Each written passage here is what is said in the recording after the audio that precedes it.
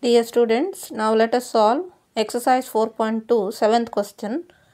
Two concentric circles are of radii 5 centimeter and 3 centimeter. Find the length of the chord of the larger circle which touches the smaller circle.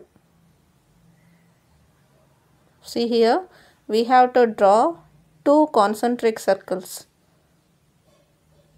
What do you mean by concentric circles? Circles having the same center but different radii are called concentric circles. Now we have to draw two circles with same center but different radii.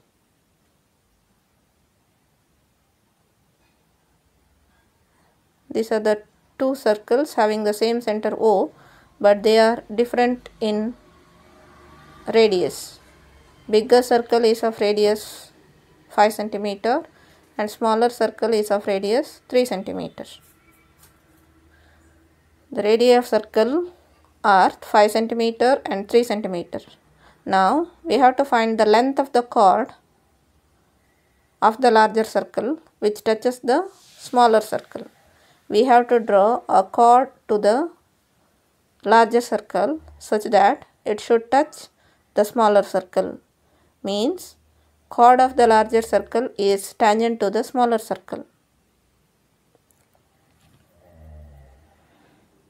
For so smaller circle, the line PQ is the tangent and for larger circle, the line PQ is the chord. Now PQ is the point of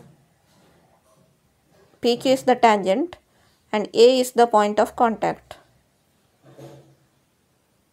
Now join OP and OQ. They are the radius of bigger circle and join OA. It is the radius of smaller circle. Now angle OAP and angle OAQ is equal to 90 degree because radius is perpendicular to the tangent at the point of contact. Here A is the point of contact. So OA is perpendicular to QP. Therefore angle OAP and angle OAQ is equal to 90 degree. Now we have to find the length of PQ.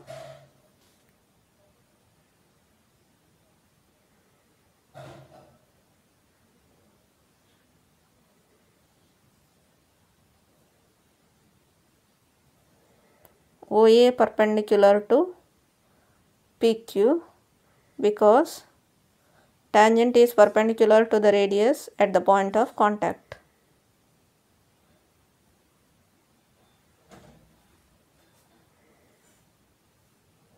Or angle between the radius and the tangent is 90 degree.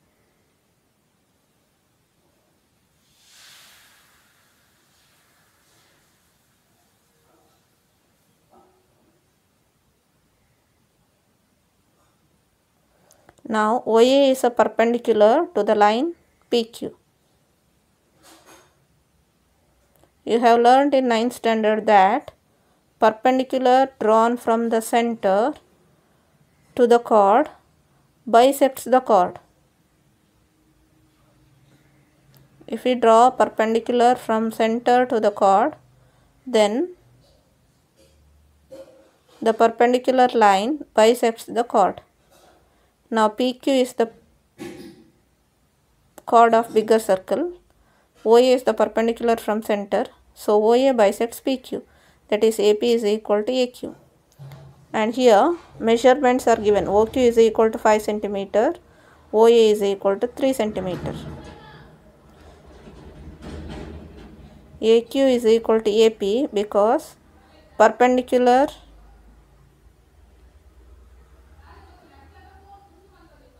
drawn from the center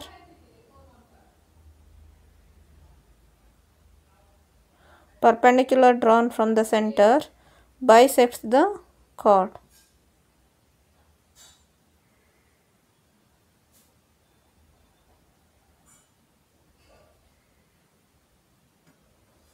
So AQ is equal to AP. So if we find the length of AQ then length of AP will be equal to AQ. So it is enough if we find the length of AQ. So consider triangle OAQ. Consider right angle triangle OAQ. In right angle triangle OAQ we have length of OQ and OA. So we will get the length of AQ by applying Pythagoras theorem.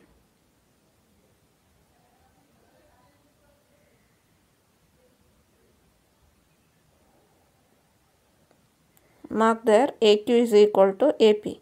Now consider right angle triangle OAQ. And apply Pythagoras theorem.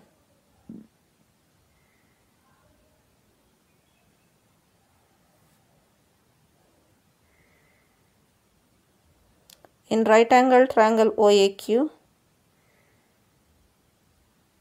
OQ square is equal to OA square plus AQ square. OQ is 5, so 5 square is equal to 3 square plus AQ square. So 25 is equal to 9 plus AQ square. So 25 minus 9 is equal to AQ square. So AQ square is equal to 16.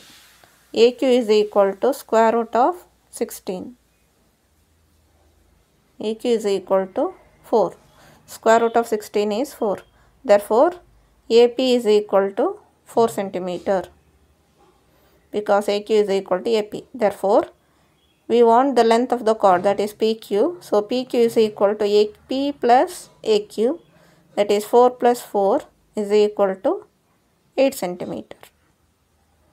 So length of the chord of the larger circle which touches the smaller circle is equal to 8 centimeter.